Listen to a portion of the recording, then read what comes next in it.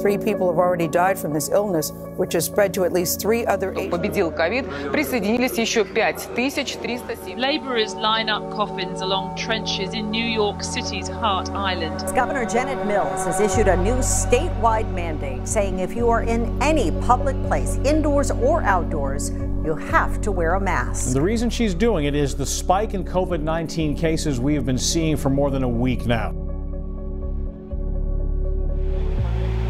We didn't know how it spread or how to do prevention. I remember everybody bringing their groceries over and wiping everything down with Clorox or ordering from Amazon, and we had to leave the boxes outside for three days. Everything shut down. Um, literally everything. My daycare is in this building. Every town building shut down. Businesses, for the most part, shut down. And even during the summertime, there was literally nothing for children or families to do. It was very quiet in the beginning here. Uh, no kids on the playground. It seemed fairly eerie. The specific problem we were trying to address when the pandemic hit was how do we keep businesses open? We had so many island summer people who felt that they shouldn't come. And part of that was caused by people on the island who were worried that if all of a sudden people came from all over the country, they could bring COVID here. When it hit, we weren't sure what to do. We weren't sure what kind of uh, increase in demands we'd have, and uh, pretty quickly we saw it was going to be serious. One of the first things that we recognized early on was the need to gather everyone together. So we called a meeting in the town of Yarmouth to get people together to say, I think we should worry and I think we should prepare.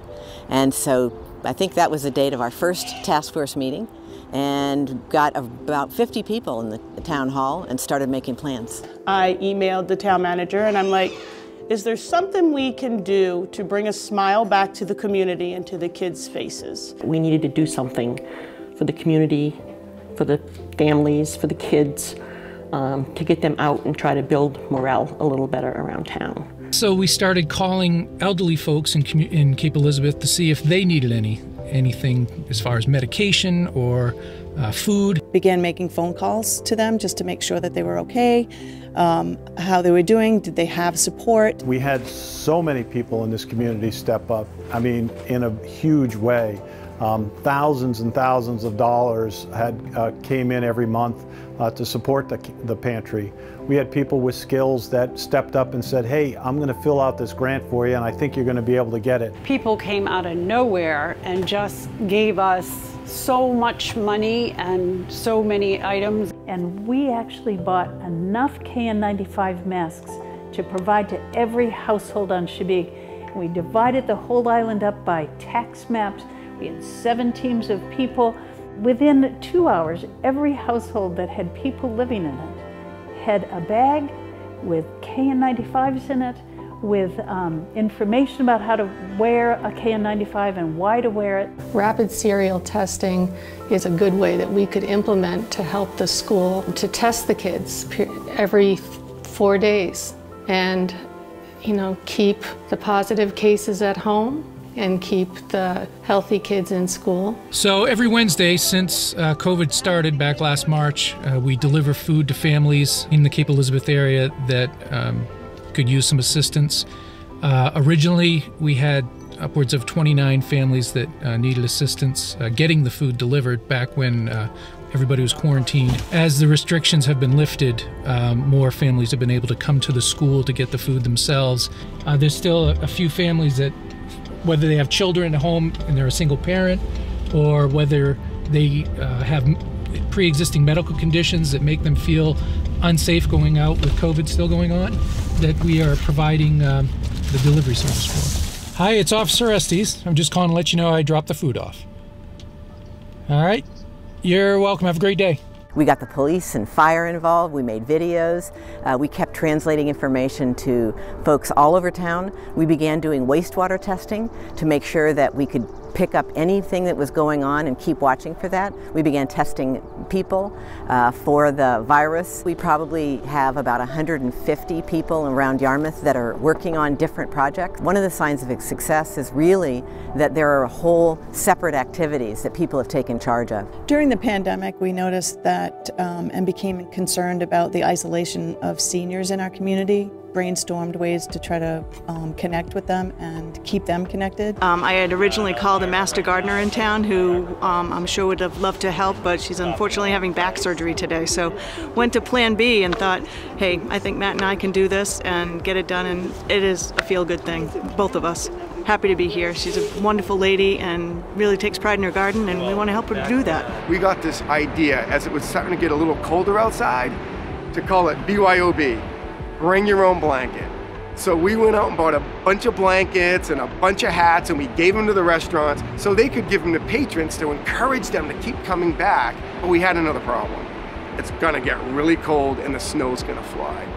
So how do we think about this not just locally? How do we think of this regionally and statewide? So we partnered with Greater Portland Council of Governments, the Maine Office of Tourism, Visit Portland and a number of other organizations to come up with this Maine winter dine. We went out and visited a number of restaurants.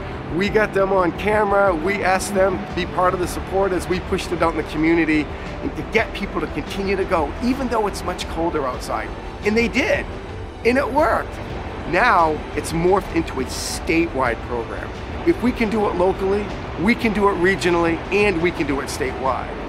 We did drive-by Halloween where early in the week we put out packets for kids to pick up for activities and then Halloween night they came back drive-through. They got their candies and stuff. They're very excited. We decided to try again at Christmas. Figured it'd be nice to give out Christmas stockings. We had them donated. We packed them with a bunch of goodies and we packed them with the golden ticket. You'd be standing out there in the cold, freezing to death, but when you handed a stocking to that child and you saw the big grin, or they won, they got, they got the gold ticket, and they were going to be able to go get a book from the library and get their tin of popcorn, and we were hollering, hey, winner, winner, winner, you know. So we were just as excited as the kids were. We did a program with the Sebago Lake anglers of ice fishing.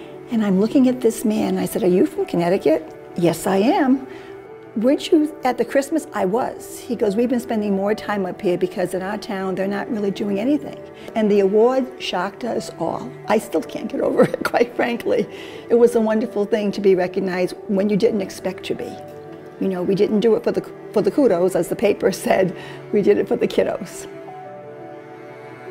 We have had one family in particular uh, from New Gloucester that each time they've had a stimulus check, uh, they've given us money. Last Friday, they gave me $200. And I was like speechless when they gave it to me. I, I, Linda and I pulled Linda over and I said, hey, look at this. This is amazing, but we can't take it. It's way too much money. They absolutely refused and said, absolutely not. You guys are here for us all the time.